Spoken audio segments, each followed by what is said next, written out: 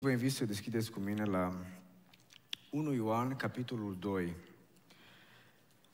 Ioan scrie cinci cărți, Noul Testament, trei epistole, o evanghelie și singura carte profetică în întregime, cartea Apocalipsa. Dar în această seară aș dori să privim la 1 Ioan, capitolul 2. Și până când deschideți voi acolo, aș dori să vă spun că Ioan este ultimul apostol care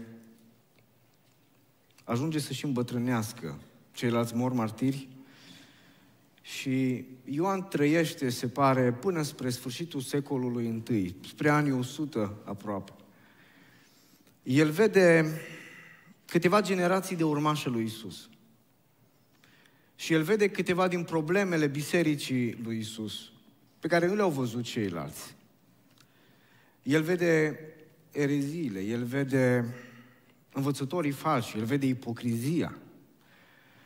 Așa că scrisorile lui și ce scrie el se adresează credincioșilor ca să ajute credincioșii să umble cu Domnul și să se verifice dacă umblă cu Domnul.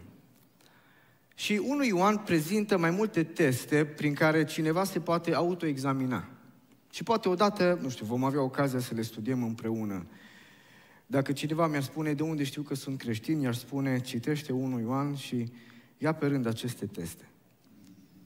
Și unul dintre aceste teste este testul dragostei. Ioan zice, dacă iubim, suntem creștini. Dar aș vrea să vedem în seara aceasta că există și o dragoste greșită și o dragoste interzisă. Și există o dragoste pe care Dumnezeu nu o dorește. De aceea titlul predicii mele în seara aceasta este Nu iubiți lumea. 1 Ioan 2, 3 versete citim. 15, 16 și 17. Nu iubiți lumea, nici lucrurile din lume. Dacă iubește cineva lumea, dragostea Tatălui nu este în el. Căci tot ce este în lume, pofta firii pământești, pofta ochilor și lăudăroșia vieții, nu este de la Tatăl, ci din lume. Și lumea și pofta ei trece. Dar cine face voia lui Dumnezeu, rămâne în viață.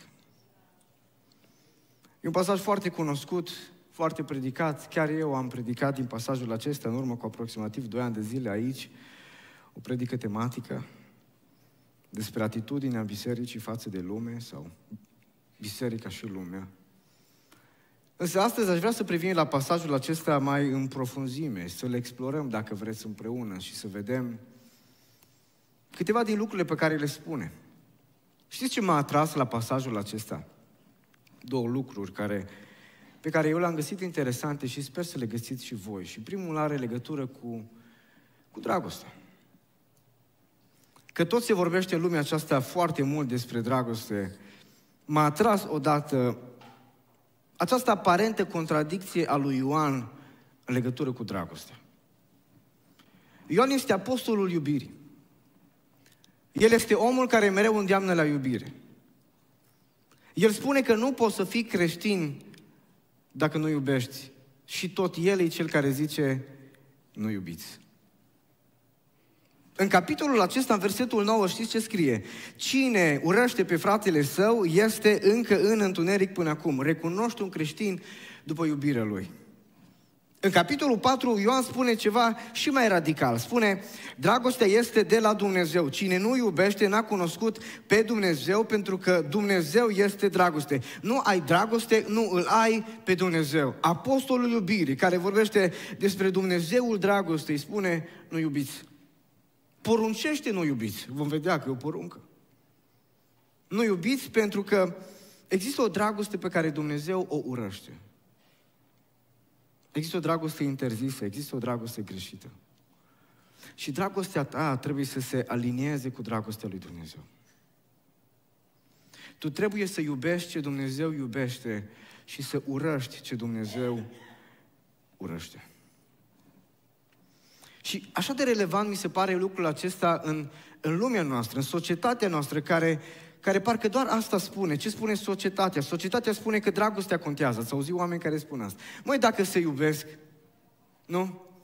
Ce, de ce sunteți voi creștinii împotriva cuiva dacă oamenii aceștia se iubesc? Nu? Dumnezeu este pentru dragoste. De ce sunteți voi împotrivă? Știți de ce? Suntem împotrivă pentru că Dumnezeu este împotrivă. Într-un sens, vedeți voi, dragostea, în orice dragoste este bună și în orice ură este rea. Într-un sens, dragostea implică și ură. Și pe cât de mult iubești ceva, pe atât de mult vei urâ ceea ce atacă, ceea ce amenință dragostea ta. Nu iubești cu adevărat adevărul dacă nu urăști minciuna. Asta vrea să zică Dumnezeu, asta vrea să zică Ioan. Vezi, Ioan, apostolul iubirii, zice, există ceva ce nu trebuie să iubești. Dar de asemenea, el mai spune ceva, el spune că există un dușman pe care nu trebuie să-l iubim. Noi creștinii suntem acei oameni care trebuie să iubim pe toți oamenii, nu doar frații noștri, nu doar oamenii în general. Noi creștinii trebuie să ne iubim și dușmanii și totuși există un dușman pe care nu trebuie să-l iubești, lumea aceasta. Creștinii au trei dușmani, firea pământească, satan și lumea. Și pasajul acesta îi amintește pe toți trei și îi leagă pe toți trei și vom vedea mai încolo. Când Ioan spune nu iubiți lumea, Ioan spune nu-ți iubi dușmanul tău care este lumea. Pentru că lumea și iubirea de lume a făcut multe victime. Și vreau să spun câteva dintre ele. Soția lui Lot a iubit lumea. S-a uitat în spate și a murit. Iuda a iubit lumea și l-a vândut pe Isus. Și viața lui a fost nenorocită. Și știți povestea lui Iuda. Dima a iubit lumea și l-a părăsit pe Apostolul Pavel din dragoste pentru lumea de acum. No, fapte spune despre un personaj pe nume Simon Magu, care a iubit lumea și a iubit lumea chiar și după ce s-a botezat în apă. Și s-a dat de gol în fața lui Petru. Și pe lângă personajele astea biblice, ați putea voi pune personaje din familiile voastre care au iubit lumea. Și care s-au depărtat de Dumnezeu, oameni din familiile voastre, din bisericile voastre. Vedeți voi, orice faliment spiritual are în cele din urmă legătură cu lumea. Cine n-a rămas în biserică, ce a plecat din biserică, e foarte probabil, probabil să o fi făcut din cauza lumii.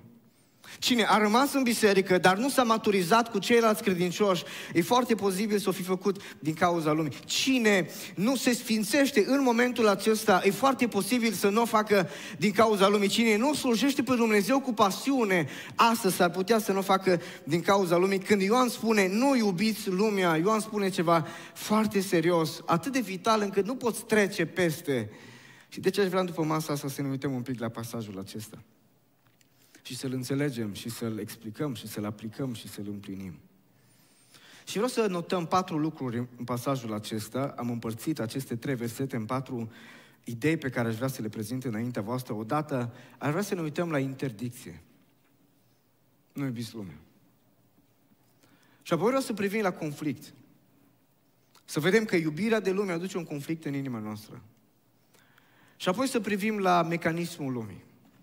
Cum ne face lumea să iubim lumea și să închem cu amăgirea lumii?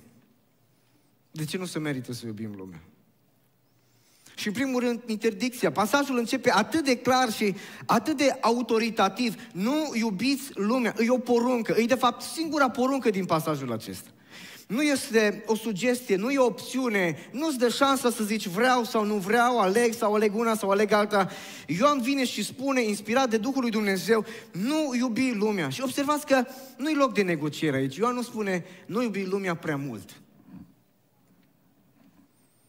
El nu lasă loc de interpretări, de reformulări, de, nu știu, o portiță de scăpare. Ideea a ce zice Ioan este, Dacă vrei cu adevărat să fii creștin, nu iubi lumea deloc. Și care știți Biblia și știți 1 Ioan și e proaspătă mintea voastră, înainte de pasajul acesta, Ioan vorbește pe categorii spirituale și spune copilașilor, vouă vă spune Dumnezeu asta, tinerilor, vouă vă spune Dumnezeu asta, părinților, vouă vă spune Dumnezeu asta, categorii spirituale. Ei, aici îi pune pe tot și spune, nimeni nu-i scutit de porunca asta, nimeni să nu iubească lumea, nimeni n-a ajuns la nivelul ăla spiritual în care poate să fie neglijent, nimeni nu are voie, tuturor le este interzis, nu iubiți lumea. Și forma asta negativă a poruncii poate însemna două lucruri. Fie au început cei din Efes să iubească lumea și Ioan zice stop, fie erau înconjurați de acest pericol și Ioan zice aveți grijă. Oricare e cazul, interdicția rămâne, nu iubiți lumea. Dar de ce să nu iubim lumea? Și ce e lumea? Nu tot Ioan zice, fiindcă atât de mult a iubit Dumnezeu lumea. Are voie Dumnezeu să iubească lumea și noi nu avem voie să iubim lumea. ce e lumea? Vezi, ca să putem înțelege ce înseamnă nu iubi lumea, trebuie să înțelegi ce înseamnă lumea. Și nu e chiar așa de simplu a înțelege la ce se referă Ioan când zice lume. Cuvântul lume este foarte folosit în Biblie, apare de 185 de ori, dintre care 105 apar la Ioan, e cuvântul preferat, unul din cuvintele preferate ale lui Ioan. Și Ioan, deci îl folosește mult, numai în astea trei versete apare de șase ori, îl folosește mult, dar nu îl folosește la fel. De fapt, sunt unii care spun că există 10 nuanțe diferite ale cuvântului lume la Ioan. Acum nu o să trecem prin toate 10, am să le simplific și să vă spun trei sensuri de bază ale cuvântului lume. Odată e lume ca și creație. Lumea fizică, lumea naturală, universul creat, planeta Pământ. Asta zice Ioan când spune în capitolul 1 cu versetul 10 din Evanghelie că spune lumea a fost făcută prin El, adică prin Isus. Lumea creată. Dumnezeu a venit în lumea noastră. Dar al doilea sens este lumea ca și comunitatea oamenilor. 1 Ioan 2 cu 2, înainte de acest pasaj, Ioan zice, El, adică Isus, este jertfa de ispășire pentru păcatele noastre și nu numai ale noastre, ci pentru ale lumii întregi. Adică Dumnezeu iubește oamenii. Și pentru că Dumnezeu iubește oamenii și tu și eu, dacă suntem creștini, trebuie să iubim oamenii. E foarte clar, Dumnezeu nu e împotriva creației. Biblia spune, s-a uitat la ce a creat și a zis că e foarte bine. Cerurile spun, slava lui Dumnezeu, nu greșești dacă îți place natura și te plimbi prin natură, mă să nu fie duminica în timpul programului, tu trebuie să iubești oamenii, dar cuvântul lume are un al treilea sens și anume o lume ca și o construcție spirituală. Așa cum spunem despre lumea fotbalului și cum spunem despre lumea filmelor, există o lume spirituală a întunericului. Unde zice Ioan asta? Multe versete. Am să vă citesc doar câteva, 1 Ioan 3 cu 1. Vedeți ce dragoste ne-a arătat Tatăl să ne numim copii al lui Dumnezeu și suntem și fiți atenți, lumea nu ne cunoaște că nu l-a cunoscut nici pe El.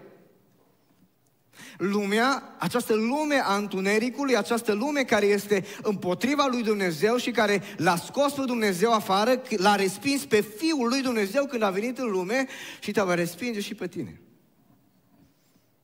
Ioan 15 cu 18 și 19 spune, dacă vă urăște lumea, să știți că pe mine m-a urât înaintea voastră. Dacă ați fi din lume, lumea ar iubi ce este al ei, dar pentru că nu sunteți din lume și pentru că eu v-am ales din mijlocul lumii, de aceea vă urăște lumea. Lumea te va urâ pentru că ești creștin. Și nu doar că te va urâ, te va face să suferi. Bun, dar atunci n-ar trebui să fugim din lume? Hmm? Nu mai bine ne-am izolat de lume? Pentru că Mântuitorul nu asta spune. El zice în Ioan 17, nu te rog să iei din lume, și se păzește de cel rău. Aici vom rămâne în lume. Dar unde vom fugi în lume? Pentru că în cele din urmă zice Ioan, 1 Ioan 5 cu 19, știm că suntem din Dumnezeu și fiți atenți, toată lumea zace în cel rău. Asta nu este o, o exagerare. Toată lumea noastră este cuprinsă de această lume a întunericului. Lumea aceasta este împotriva lui Dumnezeu, este înstrăinată de Dumnezeu, este ostilă lui Dumnezeu în întregime și pe toate fronturile. Și nu doar împotriva lui Dumnezeu, ci împotriva a tot ce are legătură cu Dumnezeu, împotriva Fiului lui Dumnezeu, împotriva cuvântului lui Dumnezeu, împotriva bisericii lui Dumnezeu, împotriva a tot ce are legătură cu Dumnezeu și împărăția întunericului s-a infiltrat în, în toate domeniile acestei lumi. În lumea mass mediei, în lumea politicii, în lumea educației, în lumea medicinei, în lumea businessului, în orice dimensiune a acestei lumi. Știți cum îl numește Isus pe Satan de trei ori în Evanghelia lui Ioan? Stăpânitorul lumii acesteia. Ioan 12, 14 și 16. Nu fi naiv. Crezi că nu există un plan pentru lumea noastră? Crezi că nu există o agendă pentru lumea aceasta? Lumea aceasta și Dumnezeul acestei lumi prințul întunericului, are un plan. Și are un plan și pentru tine. Și care e planul lui pentru tine? Să te lege de lume. Să te facă să iubești lumea. Și să te facă să trăiești pentru lume. Ca să fii al lumii. Asta e mentalitatea lumească a omului din lume. Că n-am nevoie de Dumnezeu că putem fi fericiți fără Dumnezeu și lumea va încerca să te convingă pe tine și pe mine, ca și un creștin, că nu ai nevoie de Dumnezeu ca să fii fericit. Asta zice Ioan când zice, nu iubiți lumea. De unde a apărut mentalitatea asta? A apărut la cădere. Atunci s-a stricat ceva noi. Și, și cel mai bine știți unde vedem? O vedem după cădere, în viața lui Cain. Îl știți pe Cain. Cain e omul care păcătuiește împotriva Domnului și Dumnezeu la lungă și fiți atenți ce face Cain. Zice Biblia că merge și construiește o cetate și construiește o societate fără Dumnezeu. Dar atenție, goală de Dumnezeu, dar plină de arte, știință, afaceri, plăceri, orice să-i facă pe oameni fericiți fără Dumnezeu. Geneza 4. Putem fi fericiți, zice Cain, fără Dumnezeu. Cum s-a terminat societatea aceasta în violență și măturată de potop. Dar s-a întâmplat ceva. Lumea n-a murit înecată la potop. Lumea cumva s-a suit în corabie și când s-au dat oamenii jos din corabie, lumea s-a dat cu ei jos din corabie și apoi prin alți oameni lumești, lumea și-a clădit din nou sistemul ei lumesc. Și vedem turnul Babel. Oameni lumești care zidesc un sistem lumesc fără Dumnezeu și au tot ce le trebuie. Au un lider, au resurse, au un plan, au ambiție. Noi putem fără Dumnezeu. Știți care e iluzia? Că Dumnezeu poate fi învins. Realitatea e că Dumnezeu învinge lumea așa de ușor.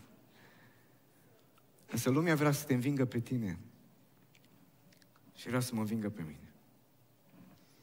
Ioan zice, există o interdicție, nu iubiți lumea. Nu crede minciuna lumii că poți fi fericit fără Dumnezeu, tu creștine, că e minciună. Dar Ioan zice, mai zice ceva, nu iubiți nici lucrurile din lume. Și asta ne spune ceva, ne spune că nu tot ce în lume este rău. Există în lumea aceasta lucruri bune, lucruri neutre din punct de vedere moral. Nu, nu, există unele lucruri în lume care nu sunt păcat.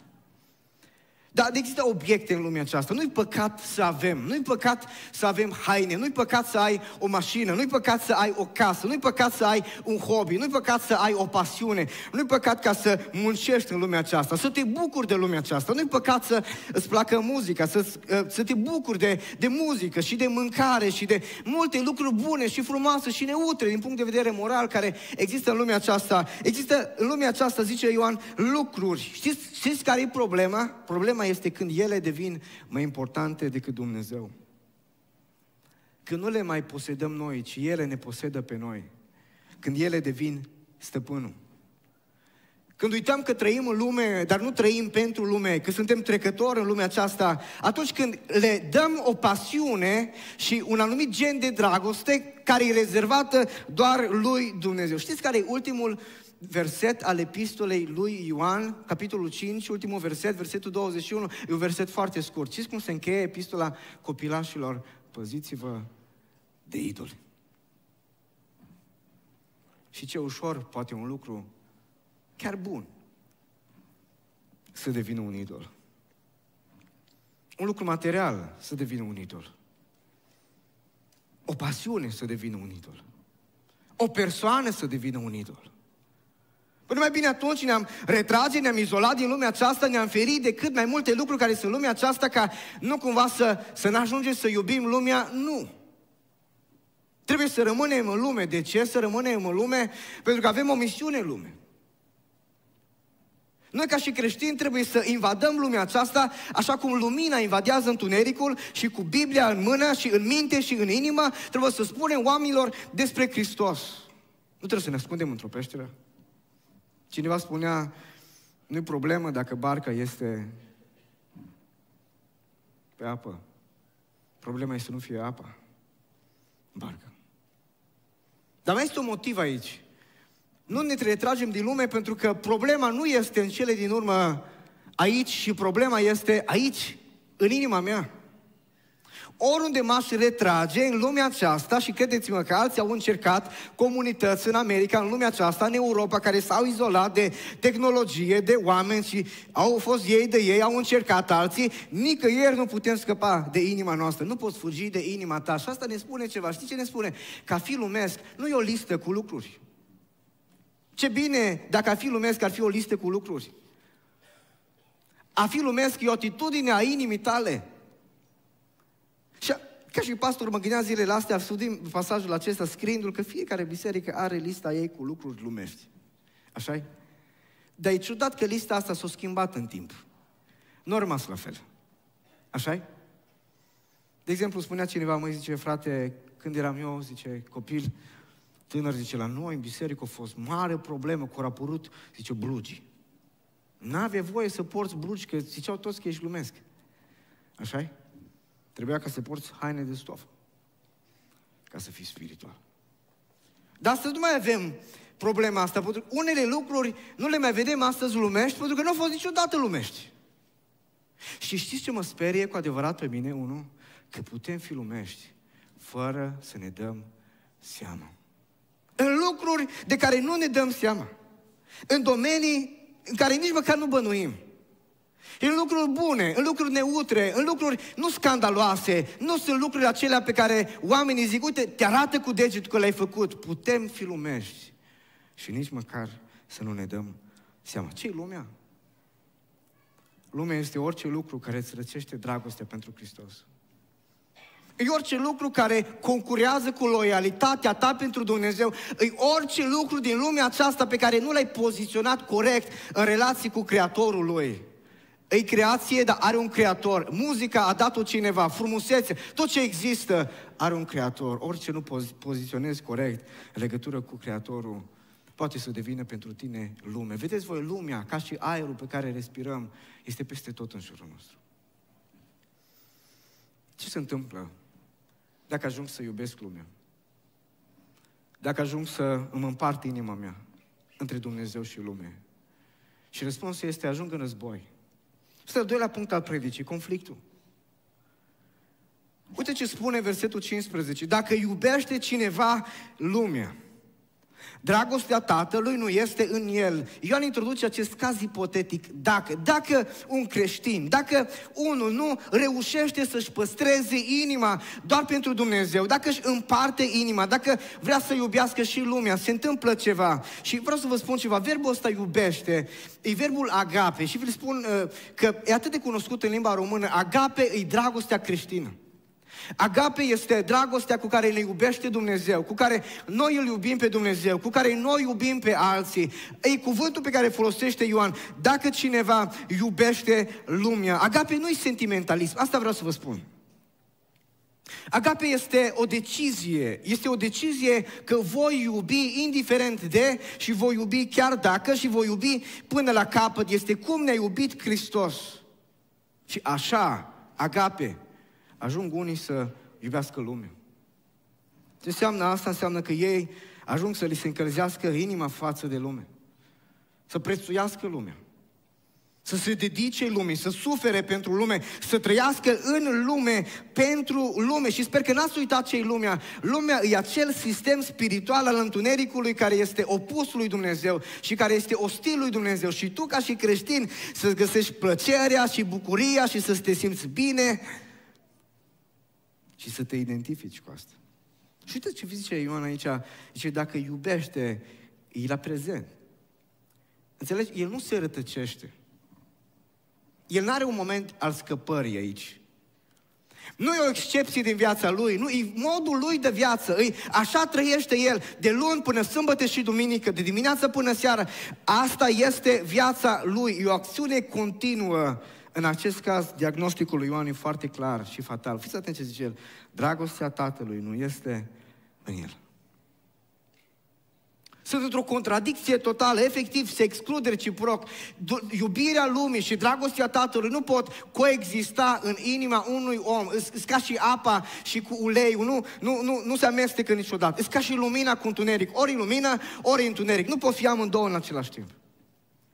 Fie iubirea lumii va înghesui afară dragostea Tatălui din inima ta, fie dragostea Tatălui va împinge afară iubirea, inimii, iubirea lumii din, din, din inima ta. Una sau alta este ori, ori. Asta zice Ioan aici. Nu iubiți lumea pentru că vei ajunge într-o situație de conflict. Ce dragostea Tatălui? E fie dragostea cu care ne iubește Tatăl, fie acea dragoste care vine de la Tatăl, fie dragostea pe care noi o purtăm Tatălui, cel mai probabil asta este, Ioan zice, un om care iubește lumea n-are în el această dragoste și cealaltă dragoste. Și asta zice Isus. Nimeni nu poate sluji la doi stăpâni. Cocior va iubi pe unul și va urâ pe celălalt sau va ține la unul și va nesocoti pe celălalt. Nimeni, nu contează cine e, nici măcar eu, nici oricare dintre noi, nimeni nu, nu poate, este irealizabil. Asta zice Iacov, fiți atenți ce spune Iacov 4 cu 4, suflete prea curvare, adică infidele, necredincioase, suflete care l-ați înșelat pe Dumnezeu. Nu știți că prietenia lumii este vrășmășie cu Dumnezeu? Așa că cine vrea să fie prieten cu lumea, se face vrășmaș cu Dumnezeu. Nu știți? E elementar, e ABC o vieții de credință. E ori una, ori alta. Ce zice Iacov aici? Iacov spune, alege pe cine iubești și după ce ai ales, ține-te de alegerea ta. Că nu se poate și una și alta. Iacov și Ioan și Isus traversează o linie așa de clară.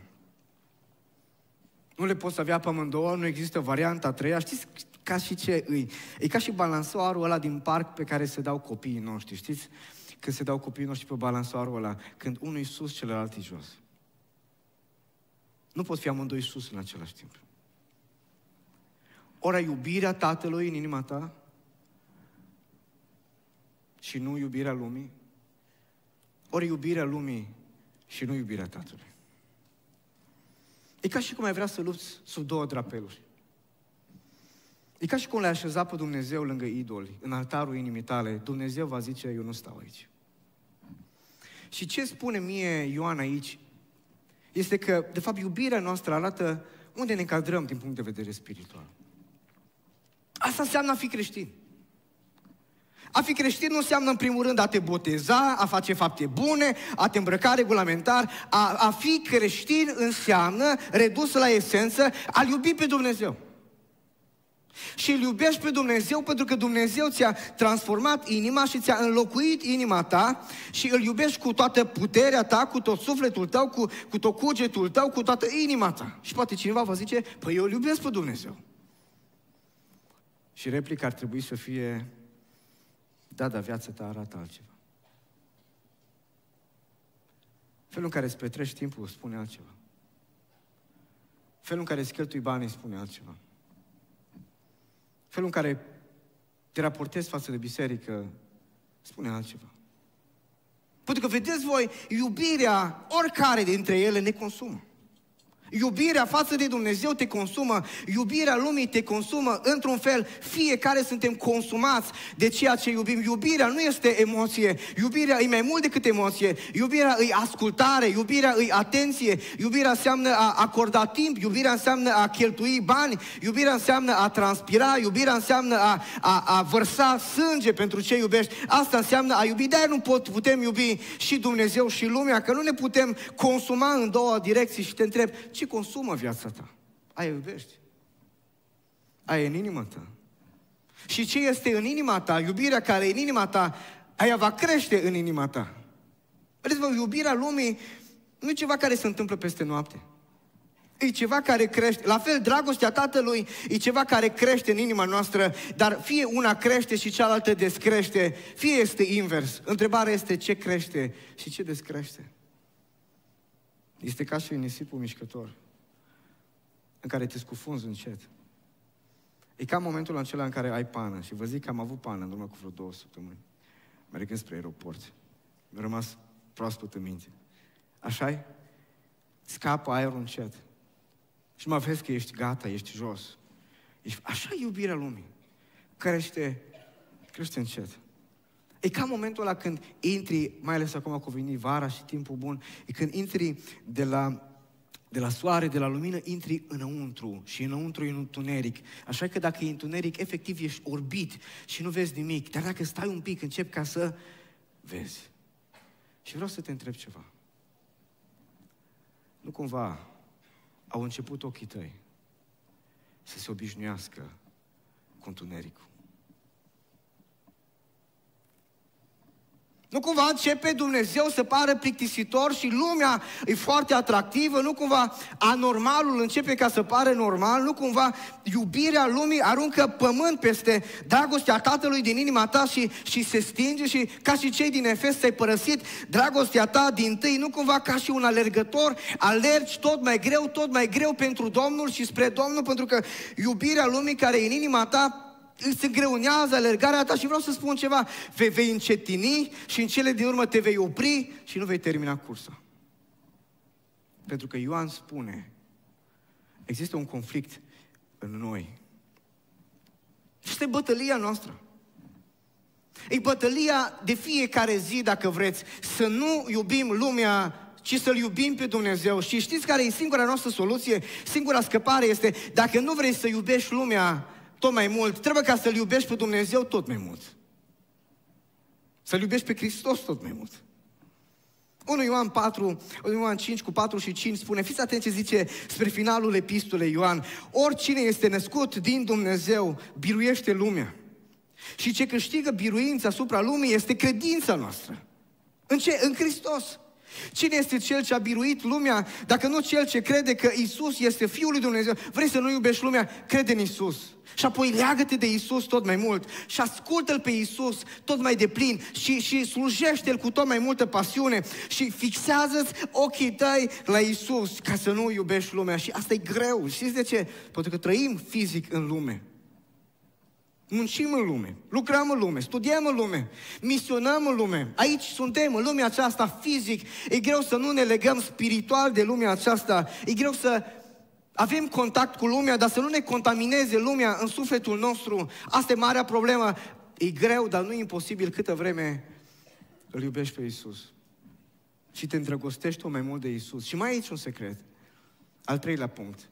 Câte vreme înțelegi mecanismul lumii. Câte vreme înțelegi ce îți oferă lumea, cum te atrage lumea, cum te seduce lumea. Și Ioan spune și despre mecanismul acestei lumi și el zice, versetul 16 așa, căci tot ce este în lume, pofta firii pământești, pofta ochilor, lăudărilor și a vieții, nu de la Tatăl, ci din lume. Vedeți, Ioan face un lucru fantastic. El ne duce în culise, ne duce în spate, ne duce dincolo de masca lumii și zice să vă arat cum funcționează lumea. Să vă arat cum fuge lumea după voi. Sper că n-ați crezut că numai noi evangelizăm lumea. Lumea ne evangelizează pe noi. Nu doar noi suntem în lumea aceasta, lumea are veștile ei, are invitațiile ei, are strategiile ei. Lumea nu-i pasivă față de... Lumea nu zice, oh, lasă-l și pe el să fie lângă mine. Lumea aceasta, dacă ești cu adevărat copilul lui Dumnezeu, va căuta să te evangelizeze, să te atragă, să te seducă, să te molipsească, să te aducă în mijlocul ei și să te facă să gândești ca și ea. E ca o mie, ca o armată de evangeliști care încearcă să convingă sufletul nostru. Și o face în multe feluri. Dar Ioan face ceva aici, reduce tot mecanismul lumii la trei. Trei lucruri. Nu știu dacă s-a realizat asta. Lumea atât are. În meniul lumii există trei lucruri. El ai biruit asta, ești liniștit. Tot ce în lumea asta. Toată agenda diavolului, toate valorile societății anti-Dumnezeu, toate lucrurile rele, bune și neutre, tot ce este lumea și ce oferă lumea, îți doar trei, zice Ioan. Pofta firii pământești, pofta ochilor, lăudărul și a vieții. Plăcerile lumii, posesiunile lumii și poziția pe care ți-o promite lumea. Și prima e ce? E pofta firii pământești. Cuvântul ăsta poftă are o, deja o conotație negativă, dar să știți, în limba greacă este, este un cuvânt neutru, nu are un, un sens negativ. Cuvântul poftă înseamnă dorință, impuls, tânjire, apetit. Cuvântul în sine nu este rău. Ce îl face rău este ce pune Ioan lângă. Ioan zice pofta firii pământești. Și ce firea pământească este natura pe care ai primit-o la nașterea ta fizică. Nu te-ai născut creștin. Eu nu m-am născut creștin. Copiii noștri nu s-au născut creștini. Când ne-am născut, ne-am născut cu această fire pământească, această înclinație în rău pe care am primit-o prin, prin nașterea noastră fizică de la, de la părinți. Ascultă-mă, firea pământească nu-i trupul tău, dar se folosește de trupul tău. De dorințele bune ale trupului tău. Ca să facă rău. Ai în trupul tău dorințe bune, fără ele viața n-ar fi posibilă să mănânci, să te odihnești, să, să, să iubim în lumea aceasta, dorința de intimitate, de afecțiune. Dumnezeu a pus în trupul nostru dorințe bune, însă natura asta, firea pământească, se folosește de astea bune ca să ne facă să facem rău. Și vedeți, nu putem transforma, nu putem antrena, nu putem educa, nu putem îmbunătăți, nu putem împăca cu Dumnezeu. Firea pământească va rămâne firea pământească până la final. Ce se întâmplă? Când un om se pocăiește, Duhul Sfânt vine în viața lui, lucrează în viața lui și îi dă o natură natură nouă. Creștinii, tu și eu, noi suntem oameni care avem două naturi. Ai o natură veche primită prin nașterea fizică și ai o natură nouă primită prin nașterea spirituală. Ai în tine două naturi. Diferența este că natura asta veche nu ne mai domină. Dar e acolo. E încă prezentă. E dușmanul de înăuntru. E cetățeanul care e gata oricând să saboteze și să deschidă ușa la inamicii de afară. Asta e, asta e firea pământească. Și Apostolul Ioan spune, aveți grijă pentru că lumea din jurul vostru va prezenta firii voastre pământești, naturii voastre căzute, care este încă în voi. Ce va prezenta? Ispite de a face lucruri rele sau ispite de a lua dorințe bune și de a le împlini într-un mod rău. Hai să luăm practic. Dumnezeu zice mănâncă. Mănâncă ca să trăiești. Lumea zice trăiește. Trăiește ca să mănânci. Îmbuibă-te. Dumnezeu zice, odihnește-te. Știi ce zice firea? Firea zice, fi leneș. Sau dacă nu ești leneș, muncește prea mult. Înțelegi? Pornește de la ceva care, care este bun. Dumnezeu zice, am creat trupul tău cu, cu nevoi fizice, cu nevoie de intimitate, dar am așezat un cadru pentru intimitatea ta în familie. Sexualitatea are acest cadru al, al familiei. Ce este în afara cadrului familiei este păcat. Ascultă de mine, zice Dumnezeu. Vine firea pământească și vine lumea și zice, auzi, tu trăiește pentru plăceri, trăiește cum vrei și fă ce vrei, fă ce simți, trăiește lumea aceasta cum vrei. Ce atitudine ai față de dorințele tale? Te înfrânezi atunci când ai o dorință rea, le împlinești pe cele bune într-un mod bun sau faci ce face lumea? Știi ce face lumea? Nimic. Ce simte, ce vrea, ce dorește, aia face. N-are un conflict moral, nu se gândește îi bine sau îi rău. Lumea face și trăiește după pofta firii pământești. Lumea zice trăiește clipa, lumea zice nu te gândi prea mult. Fă ce vrei. Pofta ochilor. Asta sunt echipă. Ce simțim înăuntru și ce vedem afară prin ochii noștri. Și ascultă-mă bine, ochii tăi lucrează în echipă cu firea ta pământească. Ceea ce văd ochii tăi trezesc firea pământească, ațâță firea pământească, inflamează firea pământească. Ce ești tu în interior. Punctul de intrare sunt ochii noștri. Nu întâmplător spune Mântuitorul, pofta ochilor. Asta s-a întâmplat cu Eva. Biblia spune că Eva a văzut fructul, a poftit și a luat. S-a întâmplat cu Acan.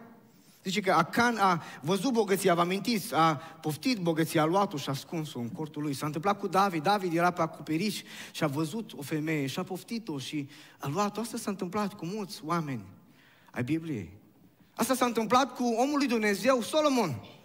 Solomon zice în Eclesiastul, tot ce mi-au poftit, ochii le-am dat. N-am pus niciun fel de limită în privința ochilor mei. De aici stilul lui de viață fără limită. Știți cu cine nu s-a întâmplat asta? Cu Iov. Ce zice Iov? Iov 31 zice, am făcut un legământ cu ochii mei. Am zis, voi avea grijă la ce privesc.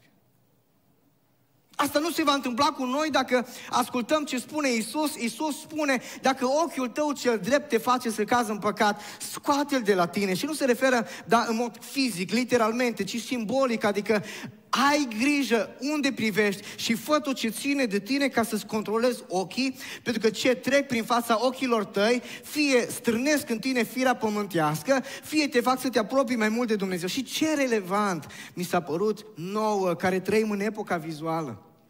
Tot e vizual.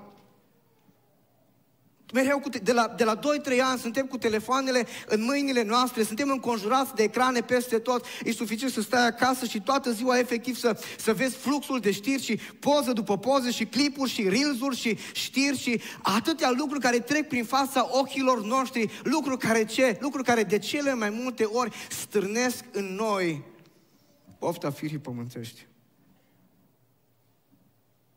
Și nu are legătură doar cu ce vezi. Are legătură și cu ce-ți imaginezi. Te gândești, faci, aș vrea să am și eu, ce aș vrea să fac și eu, ce aș vrea să merg și eu, ce aș vrea ca să fiu și eu și, și fără să-ți dai seama, efectiv, inima ta se transformă într-un cuiv de pofte, așa cum zice porunca 10 să nu poftești că ai vrea și tu și ai vrea să mergi și tu și ai vrea să faci și tu. Poftea ochilor. Dar mai este aici lăudăroșia vieții. E o diferență între astea trei. Primele două au legătură cu ce nu avem încă, a treia are legătură cu ce avem, cu ce mâinile noastre, cu ceea ce obținem și cu atitudinea pe care o avem după ce obținem. Și fiți atenți, firea pământească și lumea care e în jurul tău spune, dacă ai obținut ceva, păi laudă-te. Dacă ai realizat ceva, laudă-te. Dacă ai cumpărat ceva, laudă-te. Dacă ai pornit ceva, la orice reușești în lumea aceasta, laud, ridică-te deasupra altora, ori de câte ori ai ocazia. Vânează orice ocazie de a, a obține un titlu, glorie, funcții, poziții, putere, onoare. Hrănește-ți orgoliu. Cât de des să fie mare și puternic. Asta vrea să fie lumea. Să fim lumea. Să fim mândri. Și știți, lumea aceasta Zice, dacă nu reușești, fă tot ce ține de tine să reușești. Calcă pe caracter, calcă pe biserică, calcă pe valori. Nu contează până în ce adâncim trebuie să mergi. Fă tot ce poți ca să reușești și după ce ai reușit, laudă-te. Și dacă tot n-ai reușit, fă-te că ai reușit. Contează cum arată. Asta e lumea în care trăim. Lăudă rușia vieții. Și fiți atenți ce spune, ce spune uh, Ioan aici. Nu-i de la Tatăl, ci din lume. Ascultă-mă, firea pământească, pofta ochilor, lăudăroșia vieții nu este de la Dumnezeu, ci este de la Satan, este din lume. Nu te vor apropia de Dumnezeu, ci te vor apropia de lume. Dacă sunt în viața ta, ai grijă de ele pentru că prin astea lumea te prinde în mecanismul ei și te seduci. Așa a fost ispitit și Isus. Nu? A mers Satan la el și a zis, uite, Iisuse, ți-e foame, transformă, zice, pietrele astea în pâine, că parcă au și, au și formă de, de pâine. Nu? Pofta firii pământești. Spune Biblia că l-a dus, unde l-a dus? L-a dus uh, pe un deal. Și a zis, uite, toate împărățiile lumii, privește-le, pofta ochilor, toate pofii ale tale. L-a dus pe strașina templului și a zis, aruncă-te jos că sigurat Tatăl te va salva și toți te vor aplauda lăudăroșia vieții. Asta a fost bătălia lui Isus și asta e și bătălia ta în fiecare zi. Și a mea. Și știți ce îmi spune mie aceste lucruri? Că și noi avem ceea ce Isus a avut. Ce a avut Isus? Este scris. Și asta e și tu. Și mai este aici o idee. Amăgirea lumii. Ioan vine și ne dă o veste fantastică. Groaznică. Deci lumea aceasta trece. Și toți cei care trăiesc pentru ea o să treacă odată cu ea. Și lumea și pofta ei, ascultă-mă bine, tot ce are legătură cu lumea aceasta, știu că pare solidă, știu că pare statornică, știu că pare permanentă, dar doar pare. Într-o zi va trece. Și observați, vă rog, cuvântul ăsta va trece. E imaginea unui trecător, a unul care trece, care e în tranzit pe acolo, care acum îi și apoi nu va mai fi. Lumea aceasta trece. Trece din toate punctele de vedere. Trece odată social, politic, istoric, cum vreți. Uitați-vă voi la lumea aceasta, uitați-vă la cărțile de istorie, uitați-vă la ce se întâmplă la știri. O împărăție e cucerită de o altă împărăție. O modă este înghițită de o altă modă. O filozofie este înghițită de o altă filozofie.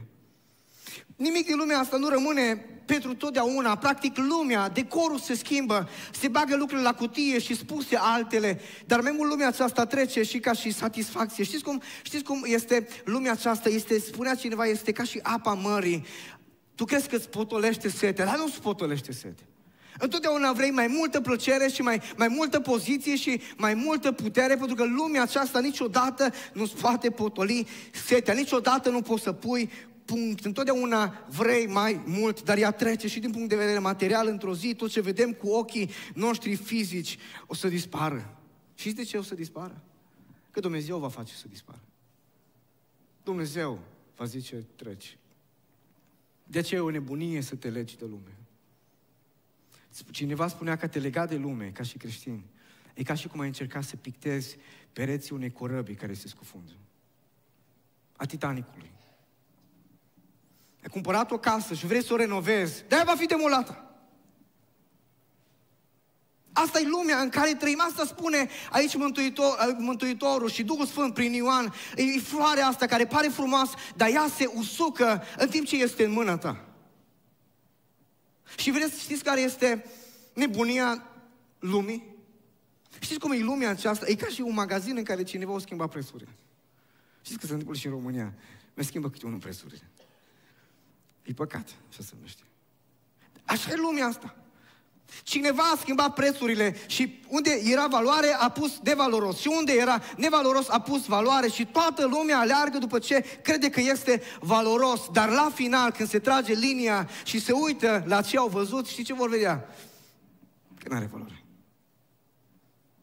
Deci trebuie să ai curaj astăzi. Să mergi împotriva curentului. Trebuie ca să ai curaj să înțelegi că vei câștiga pe termen lung, chiar dacă pierzi pe termen scurt. Pentru că lumea trece. E ca și sărutul lui Iuda, care nu-i din dragoste, ci vine ca să te trădeze. Și ascultă-mă, dacă iubești lumea și dacă te căsătorești cu lumea, repede lumea te va lăsa văzuv. Ea trece, zice Mântuitorul. Toată lumea asta trece. Dar cine, ce nu o să treacă? Uite ce spune Biblia aici. Cine face voia lui Dumnezeu. Există ceva care nu trece. Există o categorie de oameni care nu vor trece. Sunt oamenii care fac voia lui Dumnezeu. Ei vor rămâne. Ei rămân în viac, rămân pentru eternitate. Cine face voia lui Dumnezeu și vă rog, observați prezentul ăsta. Cine face. Nu cine ar vrea cândva să facă, nu cineva care cândva el a făcut, cine acum în prezent a făcut din voia o, o să rămânem în uh, istoria creștinismului. Stați liniștiți că nu o să rămânem. Păi o să rămânem în, în, în inimile oamenilor pe care i-am influențat. Vom rămâne o vreme. Știți unde vom rămâne în veci? Cu Dumnezeu. Cine face voia lui Dumnezeu va rămâne cu Dumnezeu, în prezența lui Dumnezeu, pentru o veșnicie. Cine face voia lui Dumnezeu va, va călca pe străzile de aur, va bea din apa vieții, va mânca din pomul vieții și va trăi veșnic împreună cu Dumnezeu. Acolo vom rămâne. Nu aici. Cine face voia lui Dumnezeu va rămâne. Și vreau să spun ceva aici, să fie clar. Toți vom trăi veșnic. Însă nu toți vom trăi la fel. Unii vom trăi veșnic în rai, alții vom trăi veșnic în iad. Deci aia greu poate fi numită viață. Întrebarea este unde vom trăi veșnic. Am adus o poruncă astăzi. Nu iubiți lumea. Dumnezeu zice, e interzis, aduce un conflict în inima ta, e un mecanism pe care Dumnezeu ți-l zice ca să-l înțelegi, să o biruiești? Și mai e ceva, te amăgește. Mărturisesc că în urmă cu ani de zile, cu ceva vreme, de fapt, cu câteva luni de zile, eram într-un mare aeroport din Europa și mă uitam la oameni care veneau și plecau și bagaze și... Și în timp ce stăteam acolo și așteptam un zbor, a apărut dintr-o dată în mintea mea pasajul acesta. Și lumea și tot ce pe ea va trece. Și mă gândeam la oamenii aceștia grăbiți care alergau și ne vine greu să credem că va trece. Că pare așa solidă, pare, pare atât de bine organizată, e aici, nu? E atât de reală pentru noi și totuși Dumnezeu vine și spune, ascultă-mă, aparențele înșală la urmă vei fi dezamăgit. Ne va trece cu tot ce e pe ea. Vreau să închei cu o întrebare. O singură întrebare. Unde este inima ta? Unde este inima ta? Știu unde e trupul tău, că-l văd aici. Dar inima ta. Unde e inima ta? Iubește pe Dumnezeu? E legată de Dumnezeu. Umbli prin credință cu Dumnezeu sau prin vedere? Ce crește în tine? Care dragoste crește? De Dumnezeu? Dacă da, înseamnă că lumea de dincolo îți pare tot mai reală. Și lumea asta îți pare o minciună tot mai mare. Dacă crește în tine dragostea de Dumnezeu, înseamnă că ești tot mai legat, tot mai ancorat în lumea de dincolo. Tu te pregătești pentru lumea de dincolo. Ești fizic în lumea aceasta, dar ești cu inima legată în lumea de dincolo.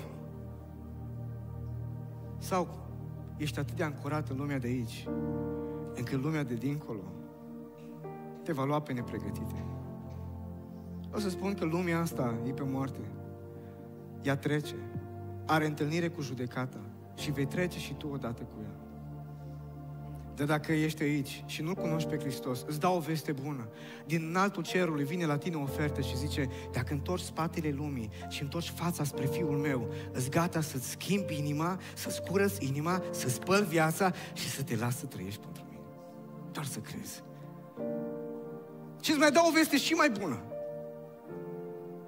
Dragostea de Dumnezeu înseamnă o relație. Banii nu te vor iubi înapoi, mașina, casa, hainele, diplomele nu te vor iubi înapoi, plăcerile lumii nu te vor iubi înapoi, dar Dumnezeu te iubește înapoi. E o relație reală cu cineva real ca și tine și ca și mine, cu Dumnezeu și îți mai spun ceva și mai grozav. Nu trebuie să-ți faci griji că îl iubești pe Dumnezeu prea mult. Mereu în viața asta, ca și creștin, trăim cu grijă să nu iubesc ceva prea mult, să nu iubesc cealaltă prea mult, să nu fiu... Dar pe Dumnezeu nu-L vei iubi niciodată prea mult, niciodată Dumnezeu nu, nu vei putea spune, eu cred că îl iubesc pe Dumnezeu prea mult. De ce? Că El, El merită toată dragostea și toată atenția ta și toată afecțiunea ta. Tu nu îi vei da câte dragoste merită. Ai cale liberă să-L iubești.